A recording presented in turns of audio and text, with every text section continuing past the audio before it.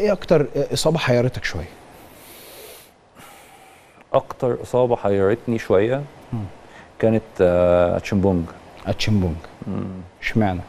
عشان آه، أنا أنا بشوف دايما ان أي اصابة أو أي أي حاجة ليها حل يعني مفيش مشاكل صعبة يعني.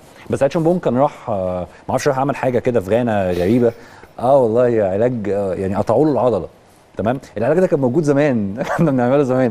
فبقيت أنا بعالج إصابة ودكتور يعمل له حاجة. فبقت لو أنت ليه أنت ليه بتعمل فيها كده يعني؟ راح قطع العضلة. قطعوا له يعني هي كانت العضلة الضمه فبيقطعوا له يعني بيفتحوا رجله بطريقة معينة لحد ما يقطعوا الوتر.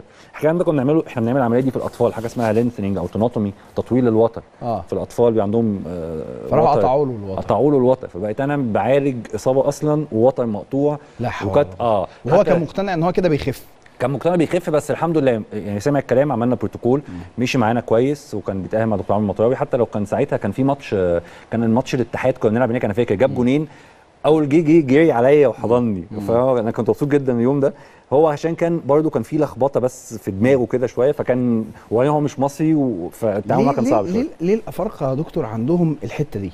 يعني يجي يتصاب قطع في الرباط الصليبي أنا سمعته ما أعرفش إذا كان ده صح ولا لأ. أحد اللاعبين في مرة من المرات أحدهم يعني حكى لي قال لي ده شايل أصلا الرباط الصليبي وبيلعب كده. طبعا أنا ما أعرفش ده في في, في الطب كده ولا لأ إنه لعيب يلعب ما, ما لا. وهو عنده قطع في الرباط الصليبي ما أعرفش. لكن أنا بقول لك ليه أغلب ال ال الأفارقة بيخرجوا على بلدهم لما يحصل له إصابات في آه، يعني قطع في الرباط الصليبي حاجة في في الغضروف يروح بلده آه، يقول لك أنا عايز أتعالج هناك ويروح بالأعشاب والطب البديل أو بالسحر بقى إنجاز التعبير أي حاجة من الحاجات دي ليه الثقافة دي عندهم أكيد حاجة تعرضت لها بدون. ذكر أسماء مش عايز آه، أسماء أنا أنا اتعرضت لها بس هي زي ما بقول لحضرتك هو دايما أنا بشوف إن لما بتلاقي ال alternative أو البديل اللي هيقنعك أنا أنا أنا believe في ده.